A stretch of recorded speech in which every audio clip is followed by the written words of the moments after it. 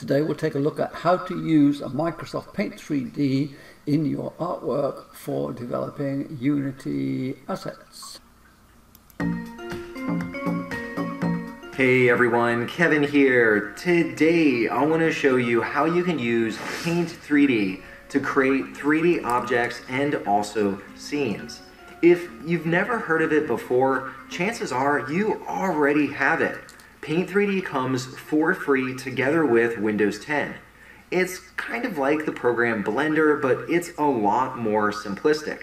And simplicity isn't necessarily a bad thing. Anyone can sit down and you can start creating. In fact, I was able to create this 3D scene with these chocolate chip cookies sitting on the baking sheet. And yes, there is now Kevin Cookie Company official branded milk now available. Once you're done creating your 3D object, you can print out a 3D object, you can create a video of it, you can even bring it into Microsoft PowerPoint so you could add a little bit of 3D rotation between slides. I'm going to show you how you can do all of this step by step. By the end of this video, you'll know all of the fundamentals of using Paint 3D. Alright, well let's jump on the PC and let's start creating. Here I am now on my PC and to launch Paint 3D, head down to your taskbar and simply type in Paint 3D. You should see it appear as the best match. Let's click on that. This drops us into Paint 3D and by default we land on the welcome screen. Up here in the top left hand corner we can kick off our very own new project and in a moment we'll do this. Down below you can open up an existing project or you could open 2D or 3D files. There are some tutorial videos. You can also browse a 3D collection. But once again, we want to start creating, so let's go to the top left-hand corner and click on New. This drops us into a blank canvas in Paint 3D. Across the top, I have categories of all of these different tools. And throughout this tutorial, we're going to go through each one of these to see what they do. Each one of these different categories has some associated tools over in the pane on the right hand side. And once again, as we go through these different categories, you'll start to see what these different tools are and when you can use them.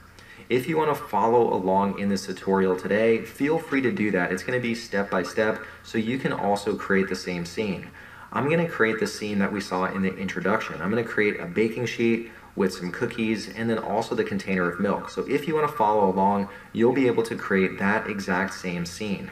First, I want to start by creating my cookie, and I want to use a reference picture of a cookie to help me create this 3D object. I'm going to move Paint 3D over to the side, and here on my desktop, I have a basic picture of a cookie. It's just a JPEG, and I'll drag it over into Paint 3D. You can find any photo of a cookie online, and you can use that as a reference photo. The only reason I brought this in is I want to make sure I get some of the texturing and also the coloring as I build out my 3D cookie. Now that I have a reference photo in Paint 3D, I want to start creating a 3D shape, or basically a 3D cookie. So if I look up here at all of these different controls, there's one called 3D Shapes. Let's click on this one. When I click on 3D Shapes, this opens up a pane over on the right hand side where I have all sorts of different shapes that I can use. There's a 3D library. I could also use 3D doodling. So here I could draw out my own 3D shape. And here I see some preset 3D objects that I can just insert. Down below there are also some 3D models and at the very bottom I can also set a color. Now I want to insert an object that looks like a cookie, but first I want to select a color that kind of looks like a chocolate chip cookie. Right down here I have an eyedropper. I'll click on that and then I'll take it over to my reference photo. And right here in the middle, this brown is really like a chocolate chip cookie, so I'll select that one, and here now you see the brown color is set. Now up above, once again, I have all these 3D objects, and this one right here called Hemisphere, it looks kind of like a cookie. I'll click on this one, and then go over to the canvas, and now I can draw my shape. So here you can kind of see a cookie taking shape. Now, if I drag down, you can see that it pulls the hemisphere down, but that doesn't really look like a cookie, so I'm not going to go that far down. I want it to be just about there. That looks like a nice cookie shape. Once I release the shape, you see all these different controls appear around it, and these allow me to rotate and adjust the shape in the 3D environment. So here, for example, if I click here, here I can adjust the x-axis. I could also go to the bottom, and this allows me to adjust the y-axis, and here at the top, I can adjust the z-axis. So this allows me to just rotate my objects in this 3D environment. Also, over on the left-hand side, here I can adjust the z-axis position. So when I click on that, I could pull it forward, or here I could push it back. There now it's behind the canvas. So I'll just pull it up and leave it here. Now, right up in the top right hand corner, let's say I make changes to one of these shapes and I didn't really mean to do that. I can go up to the top and I can click on history. And here I could go back to the very beginning if I go back to the beginning, or I could just go back a little bit. Now I want to go back right to here before I started moving the shape around. Now if I click down, I have my shape on the canvas. To start building my chocolate chip cookie, I want to build it in a way where I can match it to this photo. So once again, I'll click on the cookie and here I'm going to adjust the X rotation. And I'll adjust it to 90 degrees. So this is a top-down view of my cookie. And here I'll pull it over to the side and I'll keep it right over here so I can see the photo of the cookie right alongside my 3D object. I want my cookie to look like this photo and to do that I want to paint on the cookie. Right up here where we have all of our tools, once again, these are the different tool categories. There's one called brushes. Let's click into this one. Once we click into brushes, this opens up a pane over on the right hand side with all of the different brush tools. First, I want the edges of my 3D cookie to match the photo. And you can see here on the cookie, the edges are a little bit darker than the center. Here the brown's just a tiny bit darker. Just like we did before for the color, I'll click over on this eyedropper and then I'll go over and I'll select this darker brown color. Here now you see I have this darker brown color selected. Now right up here I have all of these different brush tools. I'm going to click on the spray can. When I select the spray can, here I can choose the size or the thickness. And right down here I can also set the opacity. I'm going to leave these set to the default. I think they're fine for now. Now I can go around my cookie and I can start darkening the edges. So here it's going to look like this cookie that was cooked just the perfect amount of time. So I'll just kind of brush in this color as I go around. Also, if you notice the photo, there are some darker spots on the cookie. So here I'll just add a few nice little dark colors to my cookie. So here you see it starts to add a little bit more texturing. Also, on the cookie itself, there are also some lighter spots on the cookie, and I want to make sure that my 3D cookie reflects that. Once again, I'll go down to the eyedropper and let me select this lighter shade right here. And then once again, also using the spray can, here I'll, I'll sprinkle in some of these lighter shades onto my cookie. So once again, this all kind of adds to that texture of the cookie. This is starting to look pretty good. As I'm painting my shape, one thing you'll notice is this icon appears on the bottom, and this is the free rotation handle. If I click on this, I can once again rotate my shape in any direction. You'll see that the bottom is untouched. I haven't been painting that, but that's fine. This is going to be sitting on a baking sheet, so it doesn't matter what the bottom looks like. For now, we'll just focus on the top of the cookie. I'm going to undo this just so it gets back to the default orientation. So far we have a nice sugar cookie, but we want to make sure that there are some chocolate chips in this cookie. So once again, we need to add some more 3D shapes. Let's go up to the top bar and click on 3D shapes. Once again, this opens the 3D Shapes pane, and we have all of the different objects that we can insert. This time, I want to use a 3D doodle, and there are a few different types of doodles that we can insert. Feel free to play around with these to see how they work. Now, I want to insert a tube brush, so I'll select this first option. Right down here, I can choose the shape of the tube, and there are a whole bunch of different options, but I just want to go with this first one, which is called the capsule. Right here, I can choose the thickness. I'm going to leave it set to the 60 pixels. And right down here, I can choose the taper. So here you could have none. Here I could have it go from big to small. Here you could have it go from small to big. For a chocolate chip, I want it to be big to small. If you've ever seen a chocolate chip, and we can even see right here in the picture, the base is a little bit bigger than the top. So I think this big to small will be perfect. Now right now I have my color set to the cookie color, and I don't want that color. I want it to match the color of this chocolate chip. So once again, let's go down to the color picker and I'll go over here and choose this nice, delicious looking chocolate brown. So now I have that color selected, I have my tool selected, and now I can draw my chocolate chip. To draw the chocolate chip, I'll simply click on the screen and then pull upwards. And then I'll release. So it's pretty quick and easy. I'll click on this check mark and I'm satisfied with that. Here you see this kind of looks like a chocolate chip. It has that bigger base and then it kind of gets smaller near the top. Now, just like with all 3D objects, once again, I have access to all of these different tools. So here I can rotate my chocolate chip. Now I want to place the chocolate chip on this cookie. And you'll see that right now, this is the top-down view of the cookie. So I want to make sure that my chocolate chip is also in the top-down view position.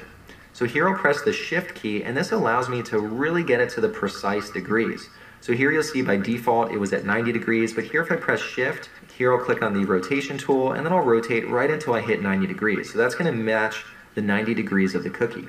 So here now I have my chocolate chip and I can pull it over onto my cookie. Now I'm not quite sure if it's on the cookie right now. To check the view, I can go up here to the top and click on the 3D view. Let's click on this to toggle to the 3D view. The chocolate chip looks like it's on there pretty nicely, but let's go back to the previous view. Right here, I can click on the Z axis position. So here I can move the chocolate chip back, so here it's behind the cookie, and here I could pull it forward so it just pops through the cookie. Now I want it to be really integrated into the cookie, so here I'll place it right about there, so it's just popping out of the cookie. Now this wouldn't be a very good chocolate chip cookie if I only had one chocolate chip. So I'm gonna copy this, I'll simply click this object, press Control C, and then I can press Control V, and that gives me another chocolate chip. And here I can move this to a different position of my cookie. Now here it's sticking out a little bit more because remember the cookie goes down towards the edges. So here I'll adjust the position and let me move this back just a tiny bit.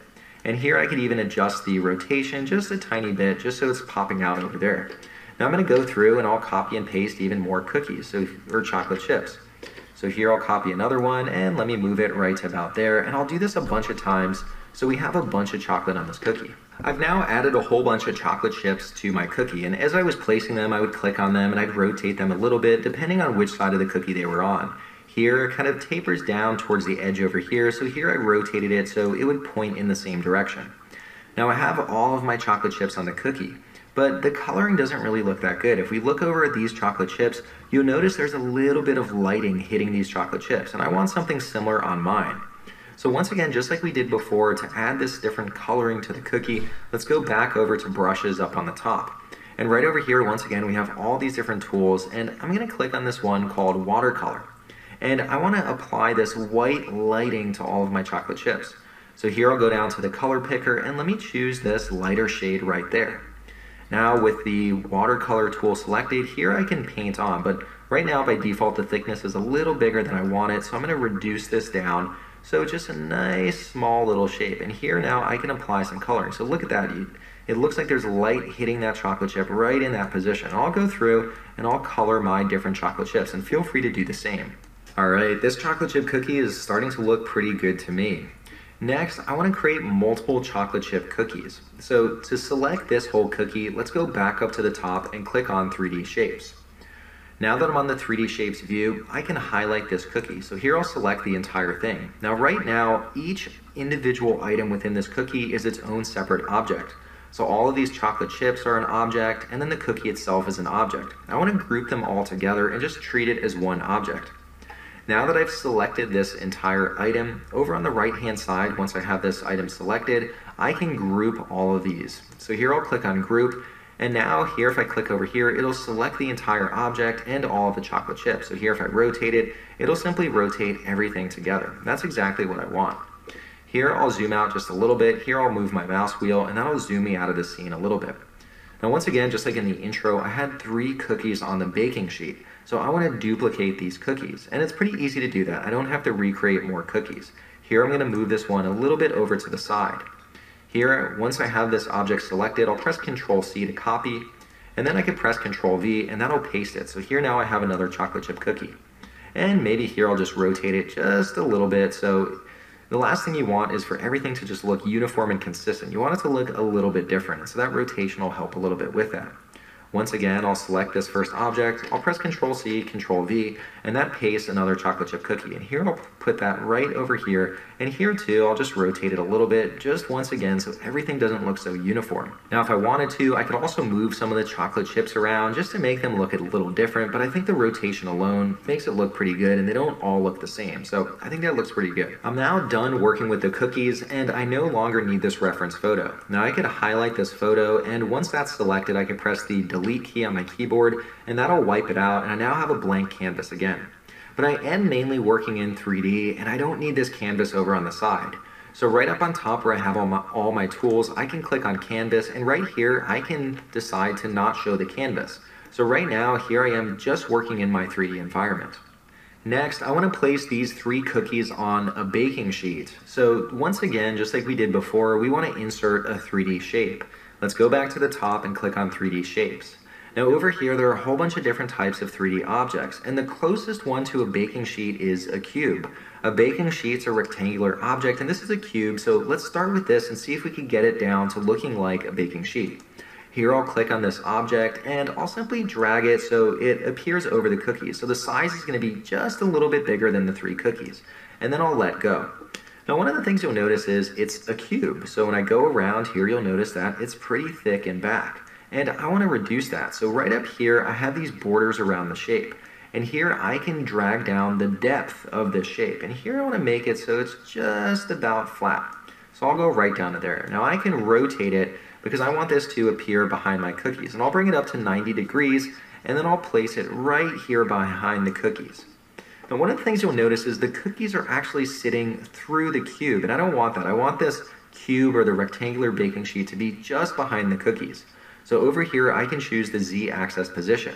So here you'll see that I can move it behind the cookies, I can move it in front of the cookies, but I want the cookies to just be sitting on this sheet. So here I'll pull it just about there, and it looks like the cookies are sitting on it exactly. To verify, I could go up to 3D view, and here I can see the cookies truly are sitting directly on it. Now that looks pretty good. Now right now I have a baking sheet, but it doesn't really look like a baking sheet. I want to give it a texture that aligns with what a baking sheet typically looks like. Here I'm going to pull my shape over and next I want to apply a sticker. Right up on top there's an option called stickers. Let's click on that and here we'll see all of these preset textures.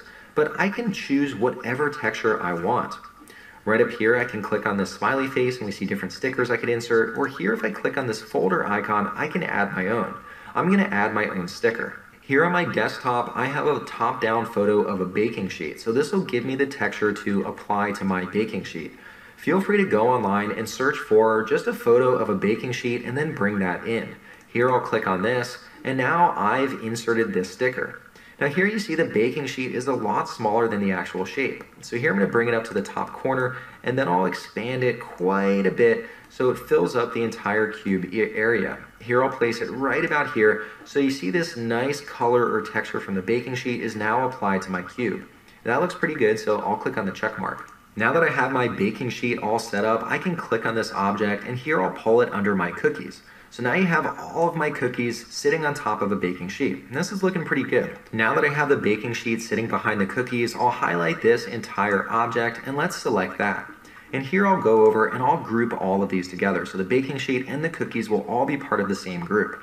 And here now I can rotate it and let me bring it so it sits down on the base. So here I'll bring it all the way down and here it's sitting on the floor.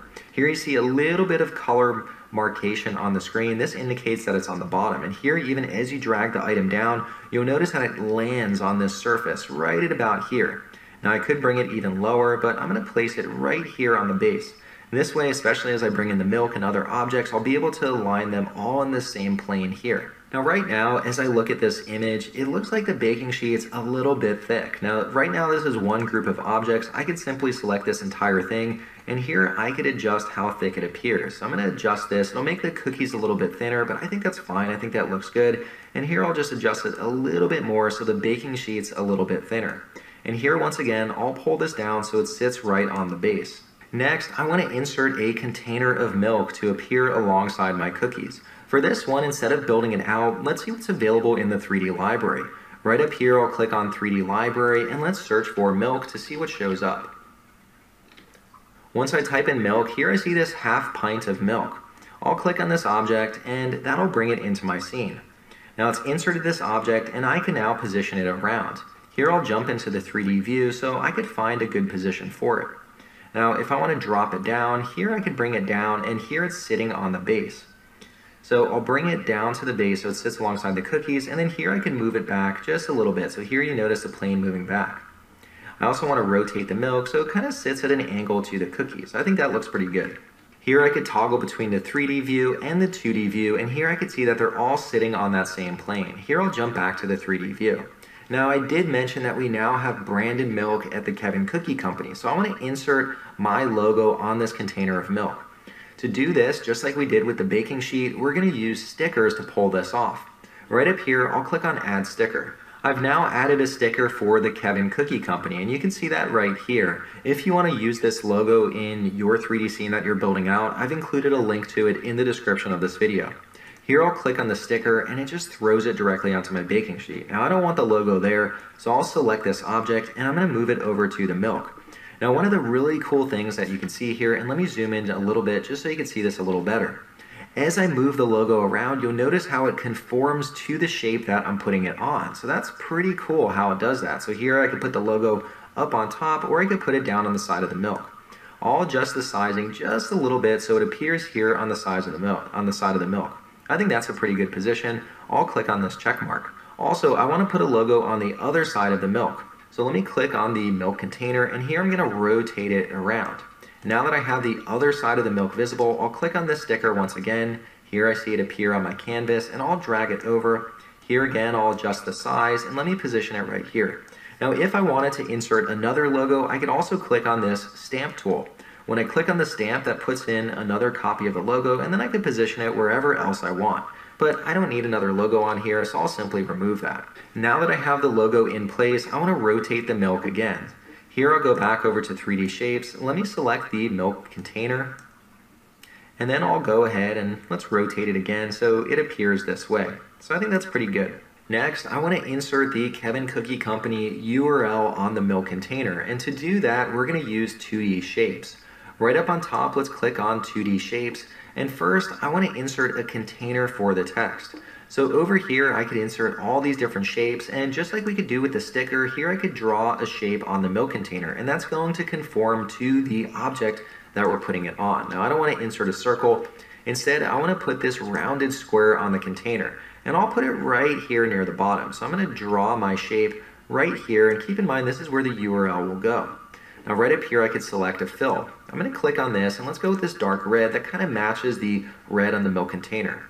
I don't need a line around it, so here I'll click over here and select none. Now this looks pretty good. Let me move it right towards the bottom and I'll extend it just a little bit. So I'll have it use up the width of most of the milk carton. Now that position looks pretty good to me, so I'll click on OK. Next, I want to insert some text so it appears on this milk carton. Now I'm going to leave the 2D view for just a moment, and once again, let's click back onto Canvas, and let's click on Show Canvas. I've now turned the canvas back on and I want the canvas to match my dark red that I have over here. Let's go over and click on brushes. Let's go down to the paint bucket and over here I'll select the same dark red color. Over here now I'll paste it on the canvas so the canvas now matches this rounded square. Right up here let's click on text and I want this to be white text so I'll click on white. I'll leave the font set to Segoe UI. I think that's fine. Right up here, you have two different types of text that you can insert. You could insert 2D text or 3D text. Now I just want this to be 2D text. It's going to sit on this surface, but keep in mind you can also insert 3D text. Here, I'll click on the canvas and let's type in kevincookie.company.com. I've inserted the text. I'm going to go and just align it and then expand it just a little bit so the full text appears on the canvas. I'm going to highlight this and just reduce the font size just a little bit so it fits in right there. I think that looks pretty good, so I'll click away and that now pastes the text on the canvas. Now one thing to keep in mind, once you paste text, it's locked in place. So I can't go back and select this text again. So if for whatever reason I'm unsatisfied with this text, I can either go back up to history and go back to a previous step, or I could highlight this and then delete it and then start again. But unfortunately you can't go back and edit text. Next, I'm gonna highlight this text. So I'm gonna add a rectangle around it. And once I have it selected, I'm going to make that a sticker. So let's click on Make Sticker. Right now I have a sticker in place and I could drag it over and I could place this on the milk carton. Here I'll adjust it and let me reduce the size so it just fits into this rectangle. And I think it'll help if I zoom in just a little bit to make sure that I position it properly. Here I place it right in that area and I think that looks pretty good so I'll click on the check mark. Next, let's jump back to the 3D view, and now here you can see my milk carton with my text appearing on the carton. That looks pretty good. Now the scene is coming together pretty nicely, however I want to center all of these different items in the middle of this 3D view.